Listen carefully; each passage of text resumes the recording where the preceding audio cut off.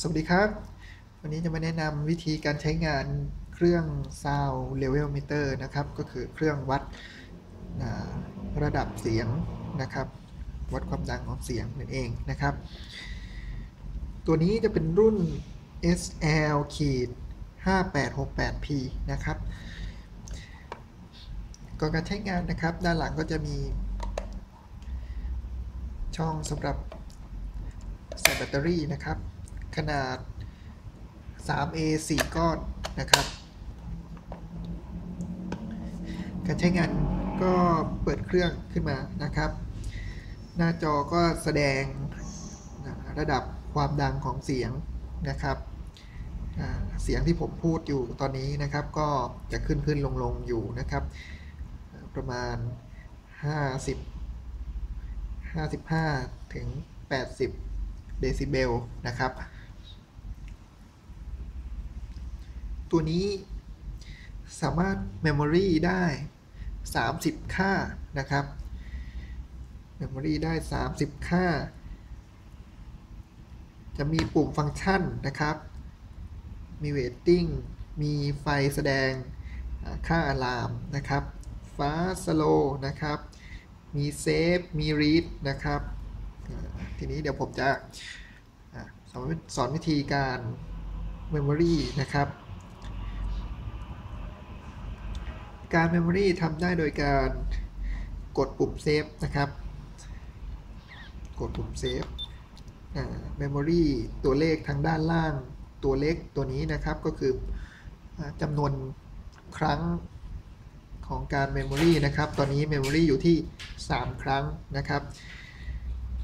กดเพิ่มก็เป็น 4 ครั้งนะครับ ตอนนี้ Memory ของเรามีอยู่ 4 ค่าแล้วนะครับ เราสามารถ เลื่อนดูค่าพวกนี้ได้นะครับ โดยการกดปุ่ม read นะครับ ครั้งที่ 4 อยู่ที่ 61.1 เดซิเบลนะครับ ครั้งที่ 3 อยู่ที่ 58.8 เดซิเบลนะครับ ครั้งที่ 2 อยู่ที่ 94.4 เดซิเบลนะครับ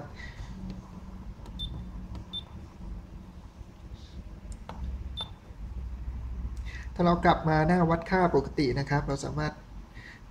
กดปุ่ม fast slow นี้ออกมาได้เลยนะครับ การตั้งค่าอะลามนะครับ การตั้งค่าอะลาม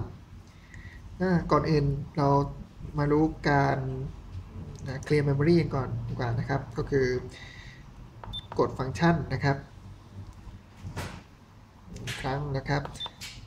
แล้วก็กดเพื่อจะวนออกมา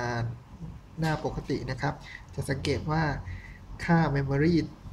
ทางด้านล่างของเรานะครับ ก็จะเป็น 00 แล้วนะครับ ตัวนี้จะ Memory ได้ 30 ค่าเท่านั้นนะครับ การตั้งค่าอารามนะครับทำได้โดยการกด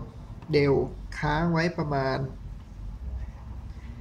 5-8 วินาทีนะครับ มันจะขึ้น AL ทางบนหน้าจอนะครับ อันนี้ผมตั้งไว้ที่ 85 เดซิเบลนะครับ เราสามารถปรับตั้งค่าได้นะครับ สมมติตั้งไว้ที่ 90 เดซิเบลนะครับ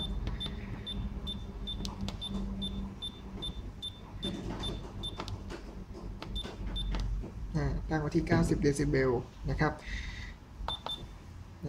กดยืนยันนะครับ ก็คือกด fast slow นะครับ สมมุติว่าเสียงเราดังถึง 90 เดซิเบลนะครับ ตัวอะลามก็จะโชว์ไฟแดงขึ้นมานะครับ